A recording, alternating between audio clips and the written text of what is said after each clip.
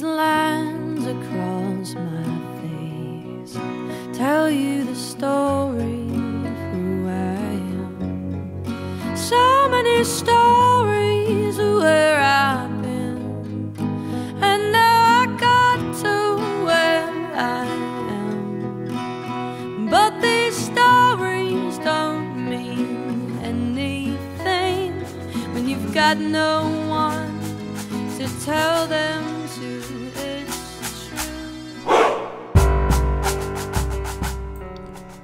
Our story is told across the campus of the Michigan Maritime Museum.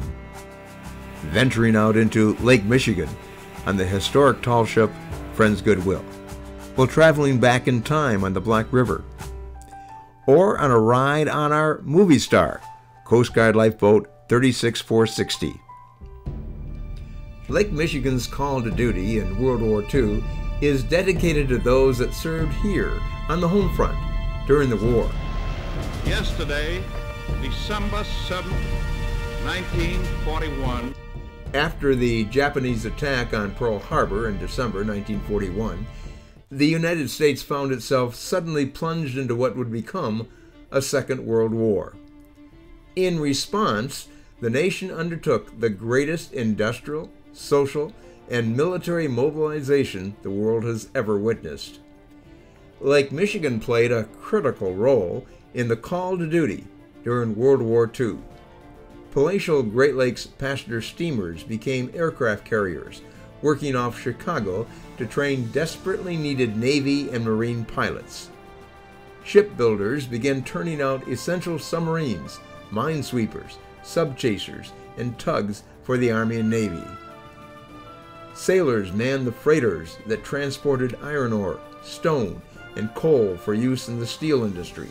Citizens replaced Coast Guard personnel called to military duty. And commercial fishermen provided necessary food for the troops. This exhibit highlights this vast mobilization for war embraced by the people of the Lake Michigan region as they answered the call to duty. Proudly sponsored by Meyer and Do It Corporation, the exhibit encourages connection with others through mutual memories and experiences. If you answered the call locally during the war or know of someone who served on the Lake Michigan home front, please share those stories with us. Preserving our cultural heritage is a vital mission of the Michigan Maritime Museum.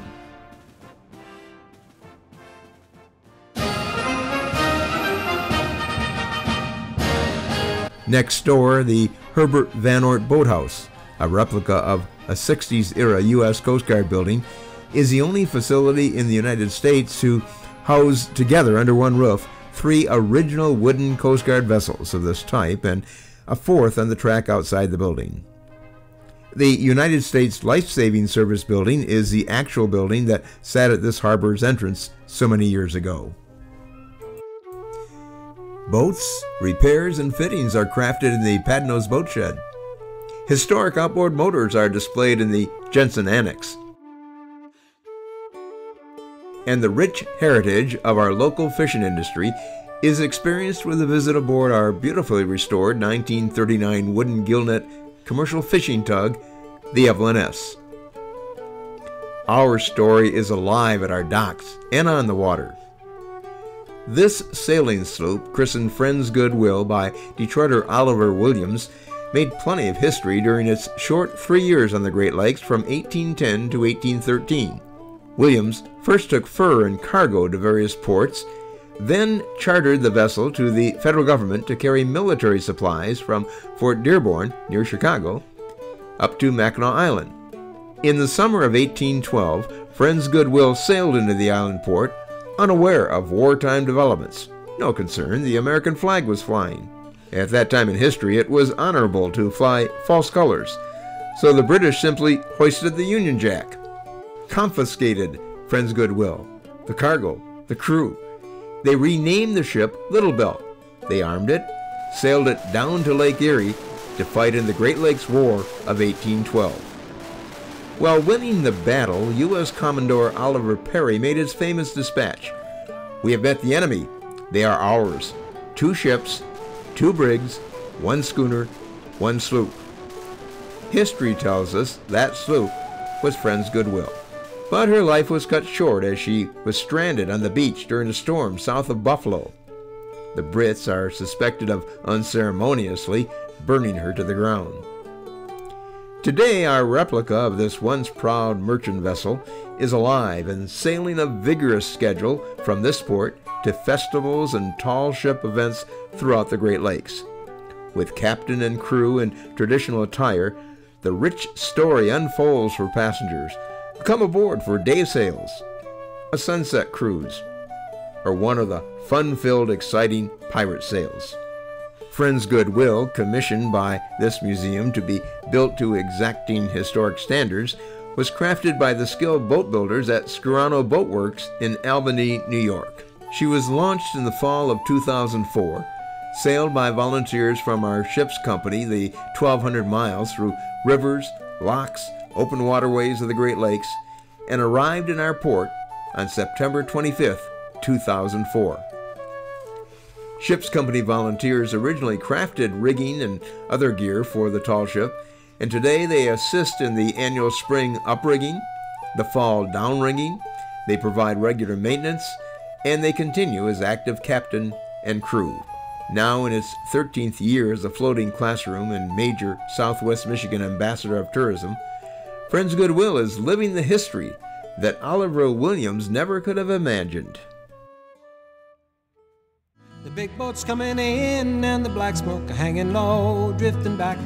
Commercial shipping, ship building, lumber, fruit, fishing, resort, and tourism were just some of the thriving industries that once drove the economic engine of the area. South Haven was a center for the lumber trade in the 1850s when logs were cut from nearby forests along the Black River then they were floated down the river to sawmills. Over 12 million feet of lumber were cut in those sawmills and shipped to ports such as Chicago, Milwaukee, and other cities. You experienced this Black River story aboard the electric powered river launch, the Lindy Lou. On the Black River, passengers rode the launches to riverside amusement parks, resorts, and picnic sites.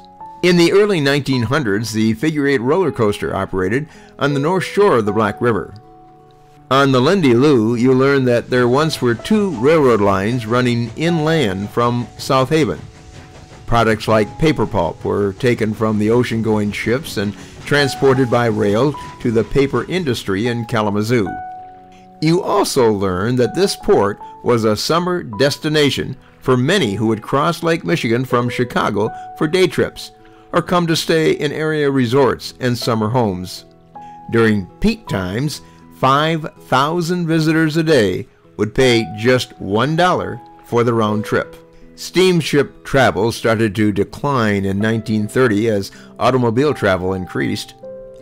The last passenger steamboat, the SS Theodore Roosevelt, sailed between Chicago and South Haven in 1940. Cargo freighters continued to visit the port of South Haven into the early 60s. And since the city is divided by the Black River, early travelers used ferry boats for crossing. Well, as the population and resort business increased, records show a wooden drawbridge was built to span the river in 1856. From 1889 to 1968, an iron swing bridge connected the north and south river banks. The current drawbridge that opened in 1968 was the first hydraulic bridge in Michigan. At our dock is 36460, our movie star. This is the 36 foot long motor lifeboat actually used in the Disney film The Finest Hours. The film tells the remarkable true story of the greatest small boat rescue in Coast Guard history. This occurred on February 18, 1952, when a massive nor'easter struck New England. The Bernita was launched in 1921. This R-class ship won the inaugural Bayview to Mackinac sailing race in 1925, and again 87 years later in the summer of 2012.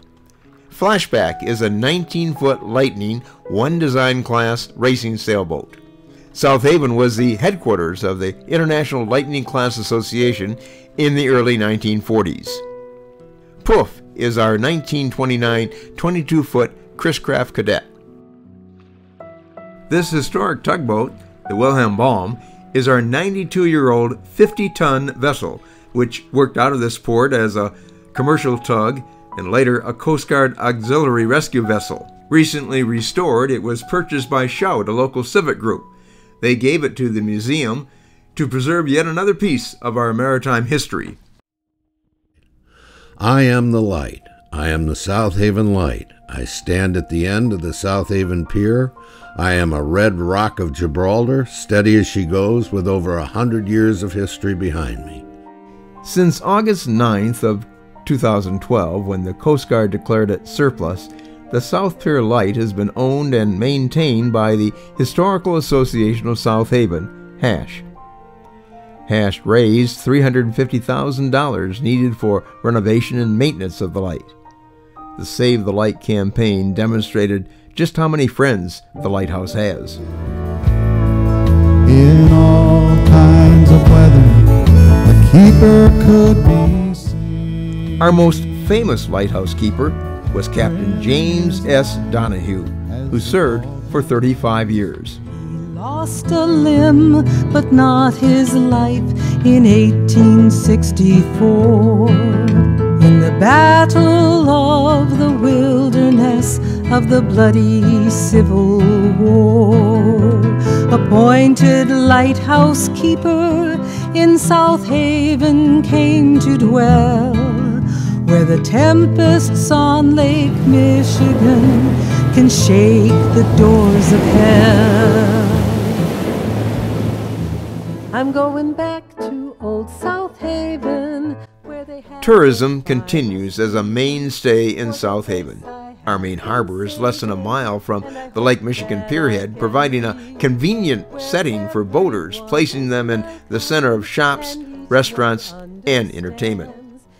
From Memorial Day to Labor Day, there are festivals and summer concerts on the harbor and in downtown South Haven, as well as a variety of activities and educational programs on the museum campus. When you're back in port from your ride on Friends Goodwill, or from a sail on the Bernita, a ride on 36460, traveled up the river on the Lindy Lou.